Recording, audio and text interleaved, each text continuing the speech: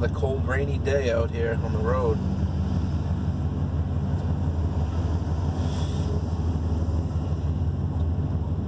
Got the uh, Buick Park Ave Ultra. Getting rid of it today. Should be interesting. That car is uh, pretty heavy from the factory. And curb weight's like almost 4,000 pounds on that thing. So, be interesting to see. I got a lot of weight inside of it. Just uh, got off the interstate. Still morning time. Got an early start today. So I know I shouldn't, but another one of my favorites. Apple fritter. You can see this one, they actually put apple in there.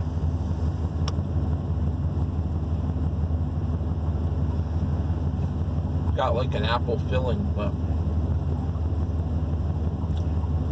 some Dunkin' Donuts you go, you get one of these, and it's just like the fritter itself. There's no filling, but it kind of like tastes like apple and cinnamon, kind of. But um, I don't know. They're all kind of different.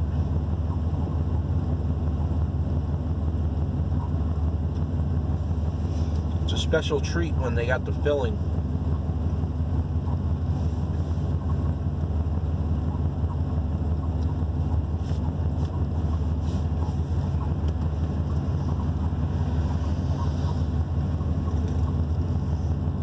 Apologize for that other video. Um, something's going on. Technical difficulties with my uh, editing program, I think. It's like um, some of the files get get corrupted or something, and the sound cuts off, and then they freeze up.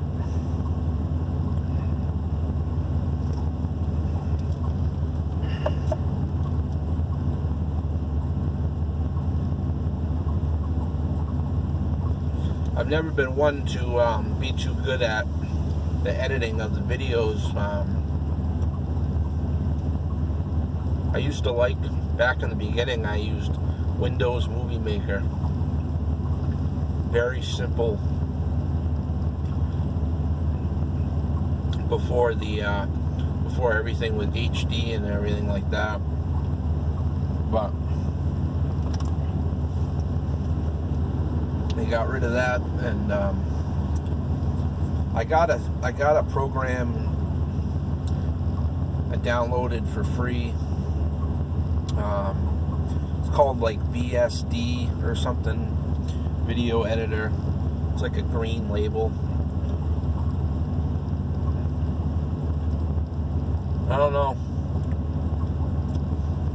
I never know what the best like um, format to export it to, like, you know, WMV or MOV or, you know, all those different ones. Don't laugh at me. I mean, I'm still kind of old school, you know, but I try.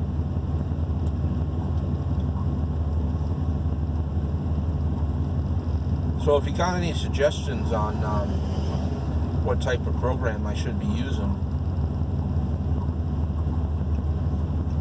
That video there, I know it froze up, but I, no matter what I did, I couldn't fix it. The original files, I watched them and everything was fine. The, the files coming off my SD card were all good, but once I brought them into that, and then um, made the whole video. Kept on doing weird shit like that.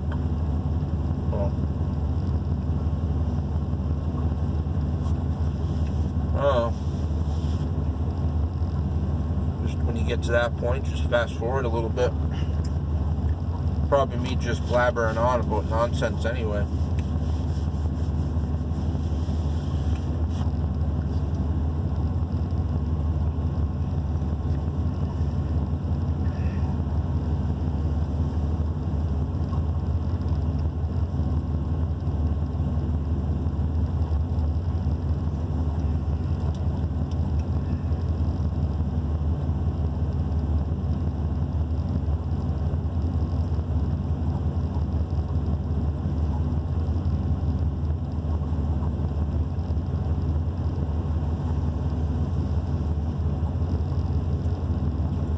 I got the Buick loaded up. Gonna weigh it in, gamble on the cat separately. I got a bunch of wheels and tires in the back, some batteries.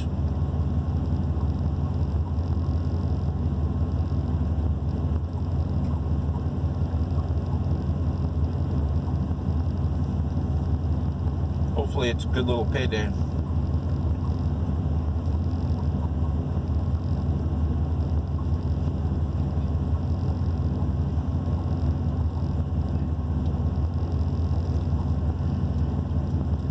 Seems like all I do is buy gas lately. Well,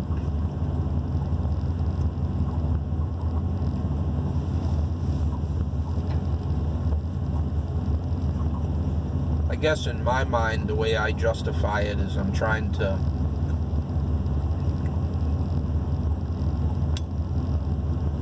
use the dually as much as I can now before the weather gets really bad because it's not very good in the snow and I don't really want to drive it much in the snow. My wife actually asked me about it, why I wasn't using the black truck to haul the cars down, and um, I mean, it was nice, especially with the AC and um, you know, comfortable ride and everything.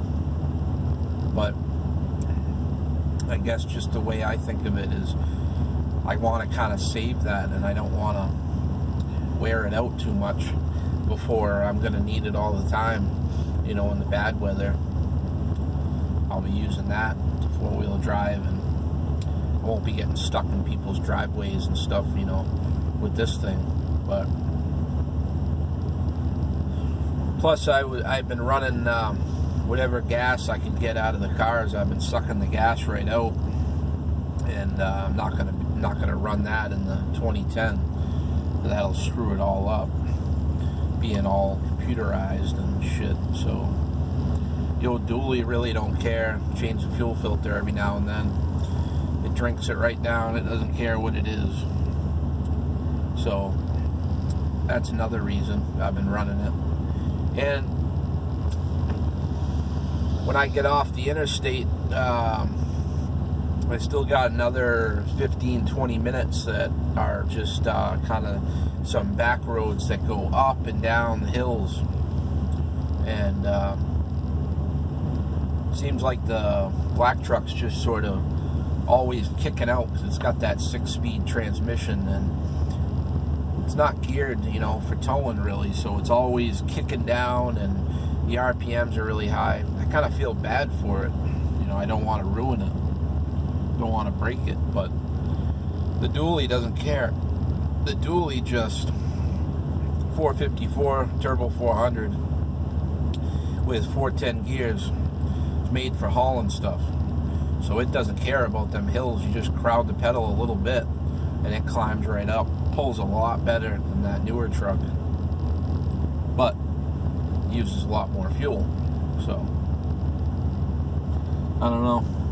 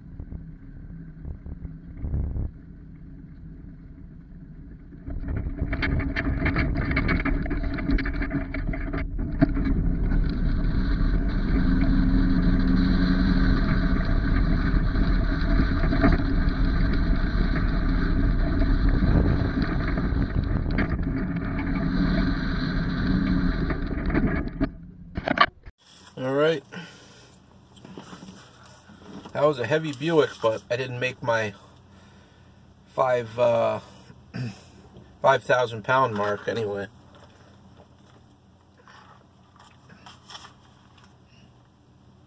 But just under five thousand pounds, and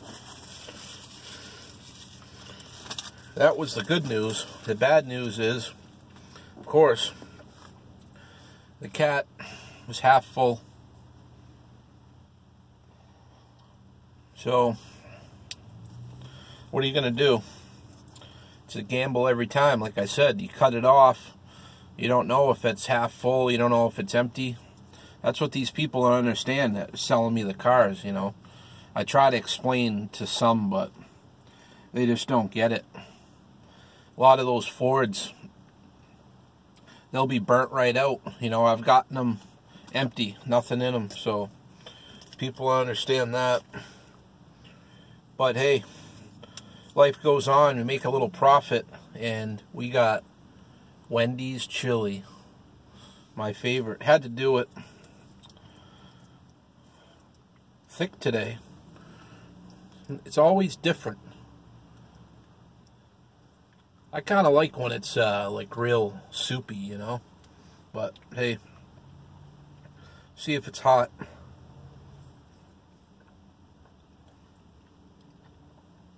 It's acceptable, but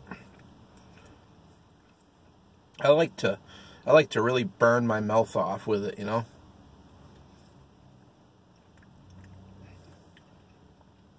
Temperature wise, not not spiciness. I don't like that. But does anyone remember if you even have Wendy's around you? Remember they used to give you those little packets of uh, it was like a little like um, hot sauce kind of to add to the chili to make it spicier. They used to have that. I remember my dad getting it.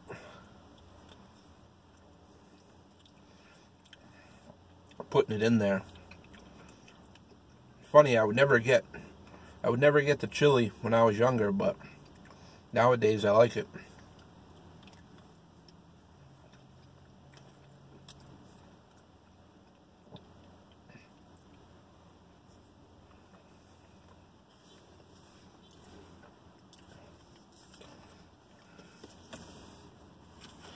I got some fries too.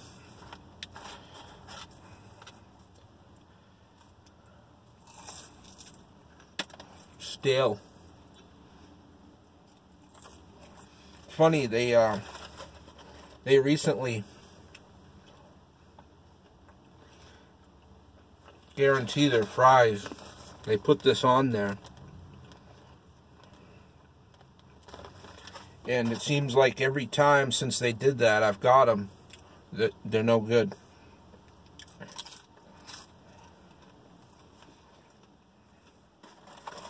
I did the survey thing. It was on the receipt. It's like a you get like a coupon for a free sandwich or something, but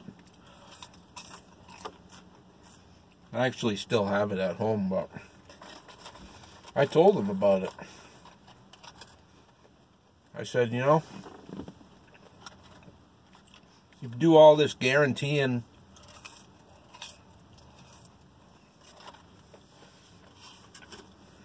I said the last three times I got them, they were like un, almost unedible. Terrible. It's a funny thing, you know. So, someone actually called me. A lady called me, a manager from that from that Wendy's that I was going to. Of course, I was doing something. I missed the call. She left a message, left a number for me to call back. She said, "We got a, we got a complaint about cold fries." So I called the number back three times. No answer. Just keeps ringing. There's no voicemail. There's no nothing. It's just keeps ringing and ringing. So there you go. That's what you get. You know, you try to play by the rules and let them know, hey,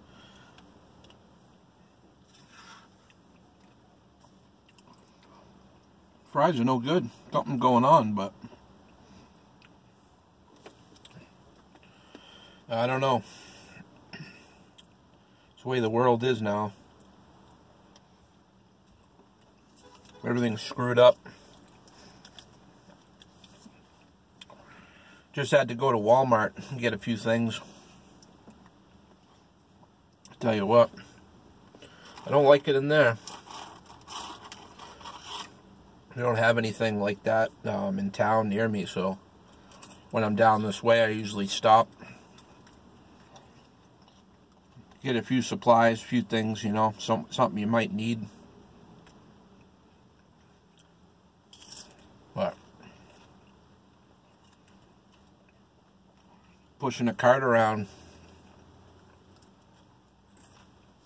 every corner I took, there's somebody right there almost bumping in and oh oh sorry. Oh sorry. Oh oh.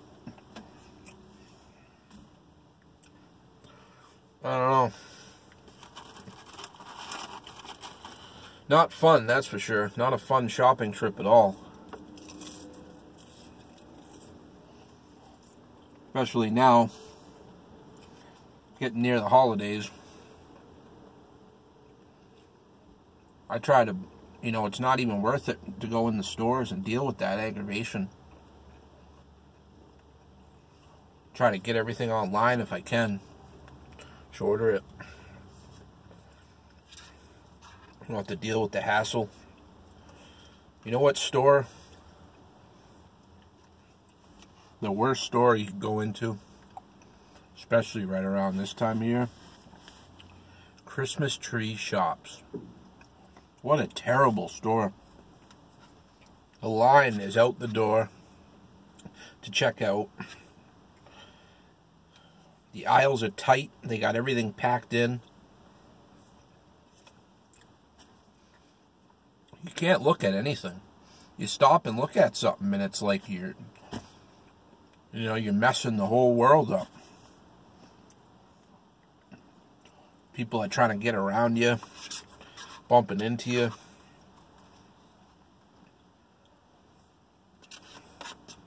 Just a nightmare. I tried going in that store, not today, but but last week I did. My wife wanted me to look for something in there. Tell you what. I told her, I said, I'll be never going. I'll never be going back in that store again. Ever.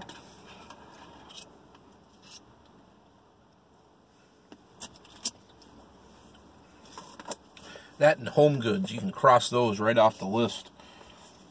Never going to home goods ever again in my life. Terrible place. Three packs of crackers. No thanks.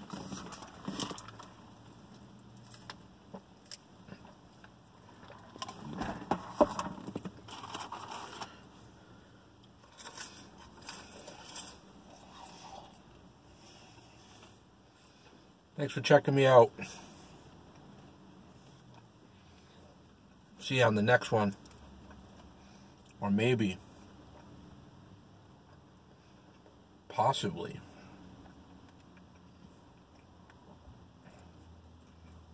On the streets.